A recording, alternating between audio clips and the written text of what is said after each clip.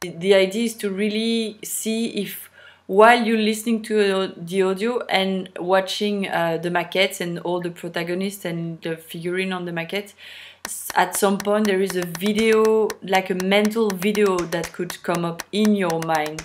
So in that work, I was really trying to um, um, deep into the relationship between what uh, someone telling you a story uh, what can the, um, the impact of it be and take a bit of distance from the video work I'd done in the past.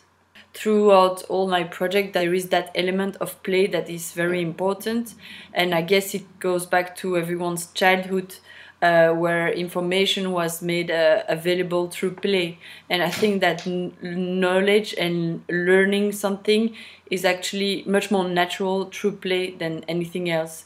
So um, uh, once I talked to a curator and he was telling me that actually the maquettes made him think about the Playmobil.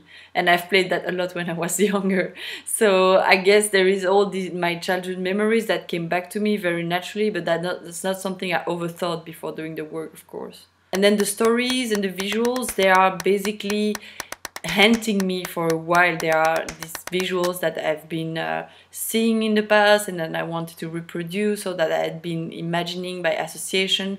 And it's a, it's a series uh, of many references, both um, uh, from coming from literature, uh, science fiction, also um, art history, of course, but uh, cinema, so the story, I, I didn't um, I didn't see it before making them, but when I finished the three of them, I noticed that most of them were talking about uh, the impossibility of communication.